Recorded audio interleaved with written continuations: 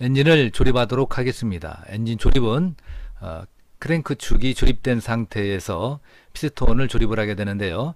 14번, 23번, 23번, 14번의 위상각이 같은 위치 선상에 있기 때문에 조립의 상태는 두 개의 위치를 보면서 조립을 하시면 되겠습니다. 피스톤의 위치가 1번과 4번이 같은 선상에 있고 2, 3번이 같은 선상에 있기 때문에 조립이 될 때는 어, 일, 같은 선상에서 조립이 되고 그리고 마무리 작업에서 1번과 4번의 피스톤이 어, 상사점 위치에 올 수 있도록 조립이 마무리 되시면 되겠습니다. 토크렌치를 사용을 해서 어, 핀저널을 조립을 하게 되는데 핀저널의 규정 토크는 1.5에서 일반적으로 2.5 어, 킬로그램 메타가 되겠습니다. 피스톤을 조립을 할 때는 어, 각 부의 마찰 부위도 마찬가지지만 실린더와 피스톤 링의 조립 상태를 유연하게 그리고 어, 마모되는 스크래치가 일어나는 것을 방지하기 위해서 에, 엔진 오일을 에, 도포하면서 어, 조립에 들어가면 어, 효율적으로 어, 마찰 부위에 윤활이 되면서 조립이 된다고 볼 수가 있겠습니다. 어, 오일팬의 조립에 앞서 baffle 그리고 어, 1차 스트레이너, 오일 스트레이너를 장착을 하시고요. 오일팬을 장착을 하게 되는데 이때 팬의 볼트가 여러 개의 볼트로 이루어져 있기 때문에 볼트의 길이를 맞춰서 조립을 하고 그리고 조립이 한쪽에서부터 조여지지 않도록 토크가 어, 균일하게 조여질 수 있도록 어, 볼트의 조립 상태를 좌우 또는 대각선 방향으로 어, 조여서 조립이 되시면 되겠습니다. 자, 오일팬이 조립이 되면 180도 엔진을 어, 정상적으로 바로 세우고 실린더 헤드 가스켓과 실린더 헤드 볼트를 장착을 합니다. 이때 실린더 헤드 볼트가 아, 정위치에 조립이 될 수 있도록 자리를 잡고요. 그리고 스피드 핸들을 통해서 1차 아, 조립이 된 상태에서 어, 마무리의 작업은 토크렌치를 사용을 해서 조립을 해주시면 되겠습니다. 토크렌치를 사용을 해서 조립을 할 때에 실린더 헤드 볼트는 엔진 조립 상태에서 가장 큰 볼트가 되기 때문에 토크의 조입력을 정확하게 균형 있게 안쪽에서부터 바깥쪽으로 대각선 방향 또는 어, 회전되는 방향으로 조여 나오면 되겠습니다. 즉 토크에 대한 분배가 정확하게 이루어질 수 있도록 어, 토크를 균등하게 조립, 조립이 되는 게 중요하다고 할 수가 있겠습니다. 실린더 헤드볼트가 조립이 되면 밸브 어, 태핏을 유압 태핏을 어, 장착을 하고요. 이때도 조립을 할 때에 엔진 오일을 도포하고 그리고 이물질이 들어가지 않도록 어, 조립을 해 주셔야 되겠습니다. 흡기와 배기캠의 위치를 어, 잡아서 캠축이 조립된 상태에서 캠축 스프로켓과 함께 에, 실린더 헤드에 캠축 볼 캠축을 장착을 합니다. 타이밍 벨트 조립을 감안해서 캠축 스프로켓의 타이밍 마크를 12시 방향 또는 차종에 맞게 에, 타이밍 마크를 맞추어서 어, 임의대로 설정을 해 놓는 것도 중요하다고 할 수가 있겠습니다. 자, 여기까지 조립이 됐으면은 실린더 헤드 카바를 장착을 하고요. 타이밍 벨트를 조립하기 위해서 어, 캠축 기어 고정 볼트 특수 공구를 흡기와 배기 스프로켓에 장착을 한 다음 고정을 시킵니다. 캠축, 흡기와 배기 캠축이 돌아가지 않도록 고정시키는 에, 공구가 되겠습니다. 다음 어, auto tensioner의 피스톤 부분이 나와 있는 부분을 어, 클램프 또는 바이스로 압축을 해서 어, 필, 피스톤 핀 구멍까지 홀 구멍까지 압축한 상태에서 어, 핀을 꽂아서 어, 피스톤을 고정을 어, 시킵니다. 고정이 된 상태에서 먼저 크랭크 축 앵글 센서를 장착을 하고요. 크랭크 축 앵글 센서를 장착할 때는 배선이 밖으로 어, 나와서 조립이 될 수 있도록 조립된 상태에서 어, 밖으로 빼주는 게 중요하다고 할 수 있겠습니다. 배선이 에, 접히거나 또는 씹히지 않도록 정리를 해서 뒤쪽으로 빼주는 게 중요하다고 할 수 있겠습니다.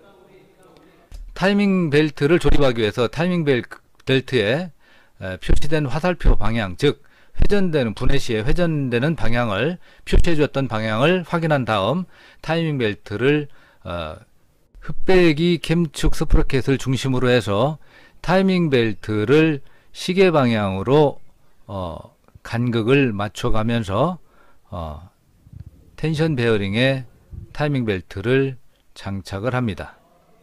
이때 tension auto tensioner를 조립하기 위해서 어, 텐션 베어링을 위로 밀면서 어, auto tensioner를 장착을 하고요. 장착이 이된 상태에서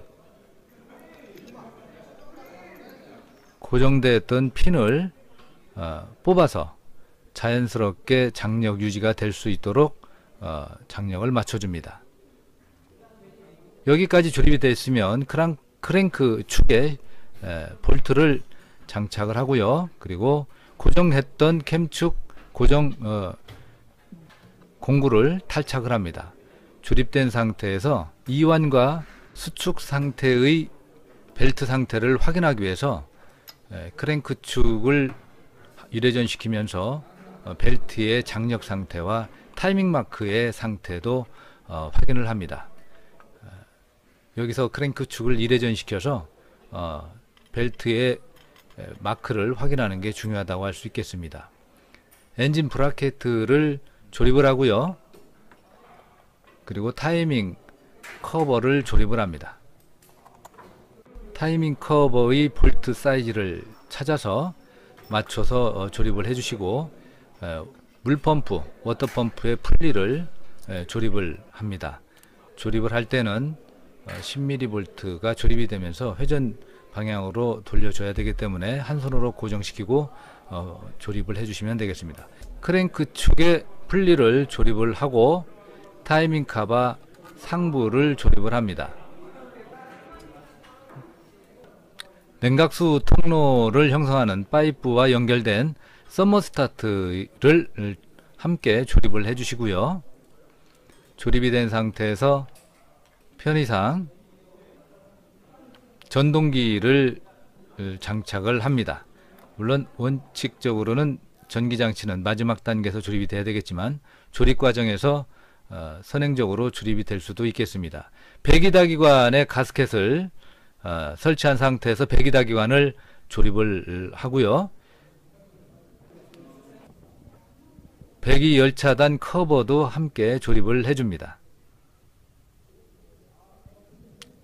흡기 쪽에 흡기다기관 가스켓을 장착을 한 뒤에 서지 탱크 흡기다기관을 조립을 합니다. 이때 고정 브라켓도 함께 조립을 해서 흡배기 다기관을 마저 조립을 하게 되고 그리고 서지 탱크 쪽에 연결되어 있는 throttle body도 조립을 합니다. 물론 조립 과정에서 어, 분해됐기 때문에 조립을 하지만 분해가 되지 않았다면 분해 굳이 분해할 필요는 조립할 필요는 없겠다고 할 수 있겠습니다. 다음 injector에 에, delivery 밸브 파이프와 injector 세트를 assembly를 조립을 하고 throttle body 고정 브라켓을 장착을 합니다. 트로틀 밸브 쪽에는 acceleration 케이블이 연결이 되기 때문에 에, 조립, 당, 조립 상태를 어, 확인을 하시고 캠각 센서를 조립을 합니다. 이때 캠각 센서가 아, 분해가 돼서 센서만 분해가 되지 않고 하우징과 같이 분해가 되는 어, 상태가 된다면 함께 조립을 해 주셔도 되겠습니다. 점화 장치를 조립을 해서 스파크 플러그 점화 코일 이때 조립을 할 때에 1, 4번, 2, 3번 어, 점화 코일의 상태에 따라서 그룹으로 어, 두 개씩 담당을 하는 점화 코일 에, 상태가 되기 때문에 두 개의 점화 코일을 장착을 하고 고압 케이블을 연결을 시킵니다. 발전기를 장착을 하고 발전기 에, 펜벨트의 장력을 어, 정상 장력으로 어, 장력을 조정을 해줍니다.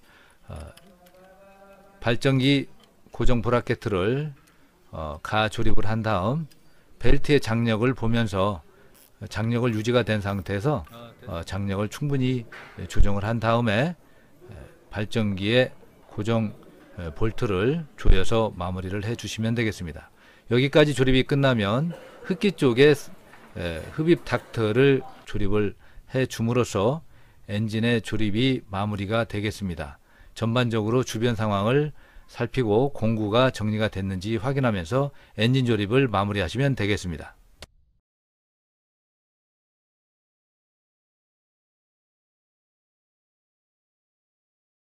크랭크 축 오일 간극을 점검하도록 하겠습니다. 먼저 크랭크 축 오- 오일 간극을 점검하기 위해 조립된 크랭크 축 메인 저널 캡 볼트를 탈거를 합니다.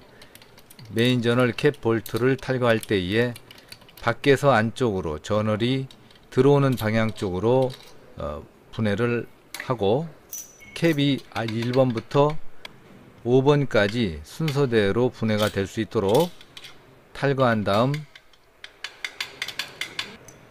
저널 캡을 정렬을 합니다.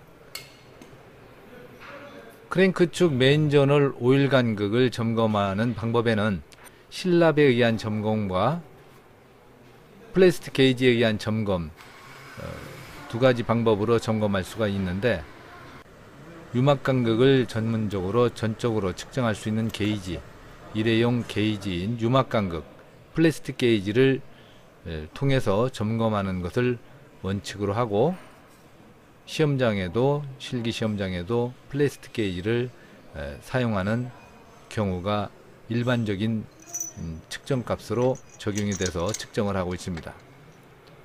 메인 저널 측정하고자 하는 메인 저널 저널에 플라스틱 게이지를 올려놓고 메인 저널 캡 볼트를 1번부터 5번까지 볼트를 규정 토크로 어, 조립을 합니다. 먼저 신속하게 조립하기 위해 스피드핸들을 통해서 킬로그램 per 메타로 설정을 하고 크랭크 축 메인 저널 캡볼트를 안에서 밖으로 규정 토크로 조립을 합니다. 크랭크 축 메인 저널 캡볼트가 규정 토크로 순서대로 조임이 이루어지고 난 다음 크랭크 축 메인 저널 캡볼트를 다시 토크 렌치를 사용을 해서 밖에서 안으로 풀어주게 되고 신속하게 풀어주기 위한 분해하기 위한 방법으로 스피드 핸들을 가지고 다시 신속하게 풀어서 크랭크 축 메인 저널 캡볼트를 분해했던 방법과 마찬가지로 크랭크 축 메인 저널 캡볼트를 신속하게 분해를 합니다. 분해를 한 다음 측정했던 저널 플라스틱 게이지의 압착 상태를 확인을 합니다. 이때 플라스틱 게이지를 바깥쪽에 있는 플라스틱 게이지 눈금과 압착된 플라스틱 게이지 눈금의 가장 근사한 근사치의 수치를 유막 간극, 오일 간극의 수치로 측정 값으로 확인하시면 되겠습니다.